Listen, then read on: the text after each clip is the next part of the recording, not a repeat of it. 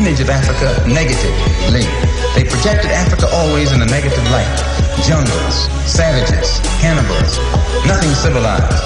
And well, then naturally it was so negative until you, it was negative to you and me. And you and I began to hate it. We didn't want anybody to tell us anything about Africa, and much less call us an African.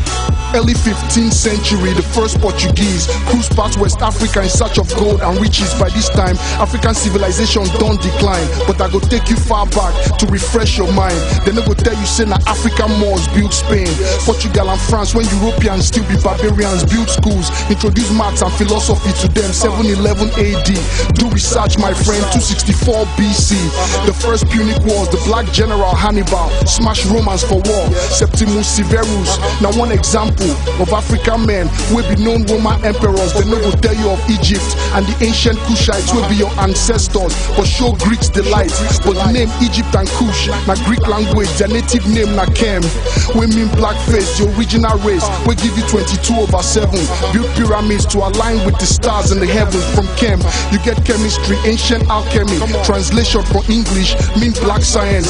Even Herodotus by 464 BC, the father of European history, they call black men, son of the gods, read the histories. See for yourself, it no go help you.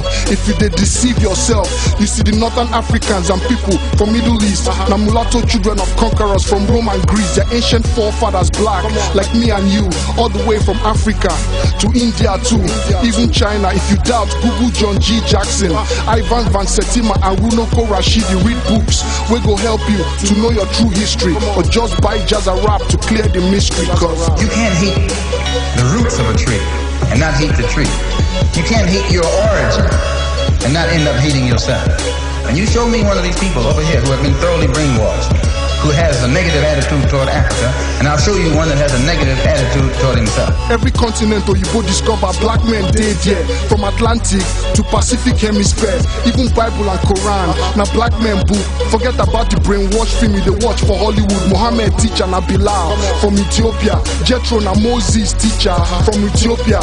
But the word Ethiopia no be country. Na wetin Greeks bin dey call black men For their own language All over the world. You go see say black people poor. So make I explain to you the reason why we fall. Far back our forefathers been done foresee Say we go enter period of decline and global sleep. True prophecy communicate to the present generation. The vital sacrifice for genetic elevation. In a moment of weakness Oyibo man take us To hold the sacred knowledge for you. Till you wake up, make you wake up. Everything happens for a reason. You don't know yourself because then don't burn your history. Now your knowledge Oyibo use for their confra lodge To create the technology where you then enjoy Nicene Creed. Uh. Under Constantine 333 AD give you the Bible you dey read. In the process of translation then change many things to justify conquering and selling people of black skin. Burn down your records. Temples and intellectuals force the remaining population to raise their children with ready-made life. Ah. So even if you free from chain it go hard for you to free your mind. Realize 90 percent of population now living dead mobile flesh with open space inside their head. Many wan hear raps of chicks and chains instead of yarns wey go spark their brain my people. We never thought in terms of doing things for ourselves because we felt helpless. And what made us feel helpless was our hatred for ourselves.